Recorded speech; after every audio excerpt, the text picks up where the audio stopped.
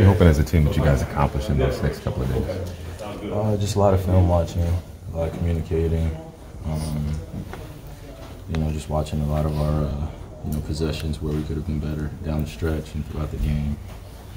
Uh, the games that we've played. Um, you know, so it's, it's just really important that we utilize this time before we go on this, you know, 10-day road trip. You know, five good teams. I think five teams that are, you know, pretty good in our league, and just great test on on the road to, to go on the, uh, you know, on a road trip for that long, and uh, just great team building. But you want to prepare before you go on that trip. Speaking of that trip, what is it like going on a long West Coast trip with teammates? you do the best you can. Um, obviously, it's nothing like being home, but you know that's really where you come together as a group, and you know you want to come out with a winning record. Um, you know, just take those uh, opportunities to be playing on other other uh, organizations' floors, or you know, going against some other good guys in our league. Some great matchups up ahead. You know, you just look forward to that challenge, um, and just really use the time to to really build uh, you know team camaraderie. Obviously, spending some time in the cities and just you know, all we have is each other. You know, obviously, um, yeah, we have our significant other sometimes on trips, but you know, for the most part, it's, it's, it's just us. So just use that time That to fourth continue. quarter. Okay, thanks for letting me finish my answer. But yeah, go ahead. Apologize. Yeah, you good? Go ahead. No, go ahead. It seemed like they get it down to four or five. You guys get it back up to eight or 9 Mm-hmm. Did you ever feel like, okay, that's finally it now? We, we, you know, we have control again, or they just kept coming? I think, uh, you know, I could speak for a lot of people that were watching. Also, you know, while I was out there playing, that once Brandon Ingram kept, you know, making some of those tough layups, it was just kind of taking, uh, you know, some of the momentum away from, uh, you know, some of the possessions that we had. Uh, but, you know, great players gonna make great shots, and that's what we continued to do. We kept running pick and roll, and we just had to keep executing and, um, you know, stay together as a team and make sure that we weren't um, you know, giving them any easy opportunities like we did in the third quarter, or some some of them in the fourth quarter, um, you know, or other past fourth quarters. So we just wanted to utilize that um, just to kind of get our breath, get our minds right, really, you know, get the shots that we wanted down the stretch. Kyrie, can you describe what your focus was in that closing run? Uh, you made a lot of, you s- seem to be focused on playmaking, and even when guys didn't hit the shots, uh, you know, it kept it, it kept the offense in gear. Yeah, no, that's that's uh, part of my responsibility is just you know getting in that paint. I draw so much attention.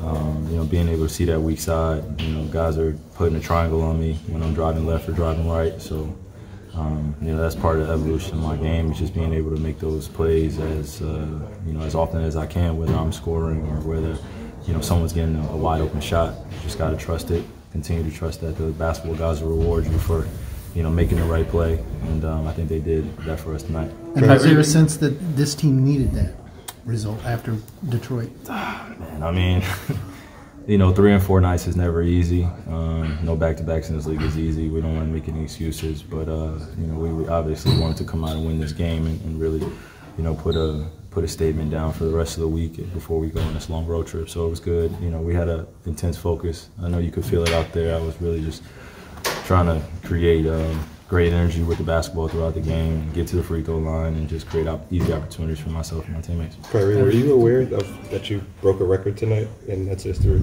No. Uh, apparently, through the first seven games of the season, you now have scored more points than anybody in any other net ever. And in terms of points, rebounds, and assists, you the only other person with a higher average is Oscar.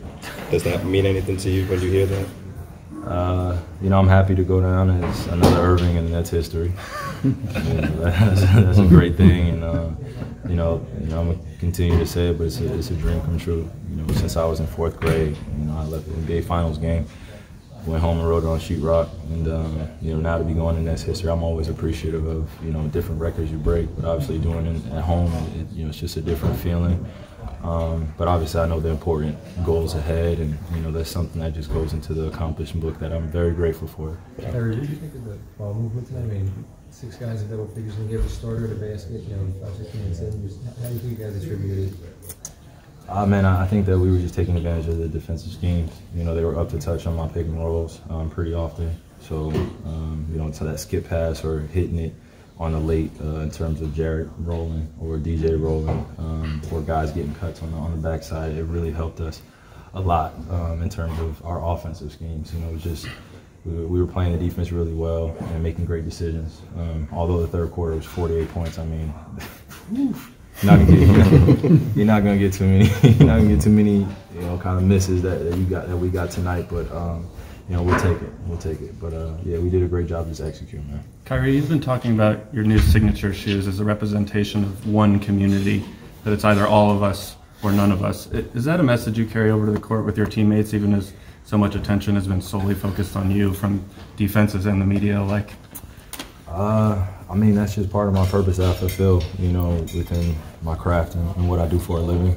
Um, you know, obviously it could, it could be a little, uh, you know, confusing some of the long-winded answers I give. Um, but, you know, I do believe in one community. It is all of us or none of us. Like I said, I believe in world peace. But when I'm here, you know, out there on the competitive floor, I just want the best for my teammates. And I want to go out there and compete and really put on a show and enjoy the game that I've been working so hard to, to be able to be great at. So, um, you know, you try to have find a balance between both of, of, what you're, you know, believing and what you stand for, and then also being able to play a game and create an art that you love to do. So, just find that balance in, in my in my creative uh, input outside of the game, and then just bring it into the game. So, just trying to find that balance.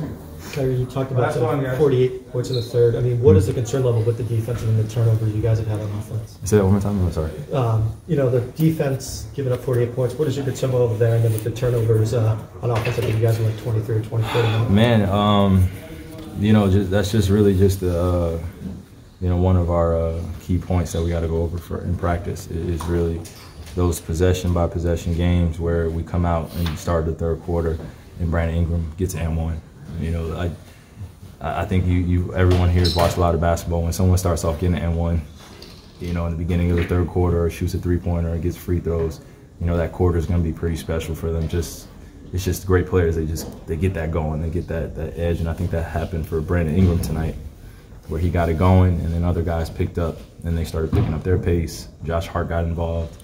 Um, a few of their guys went down, but the other young guys really came in and made an impact on the game in that third quarter. So just got to be prepared for whatever the game brings, you know, and being able to uh, manage a lead with, you know, with maturity. That really what, what it comes down to. So it's going to take time, but um, you know, staying with them, staying patient with my teammates is all it's going to take.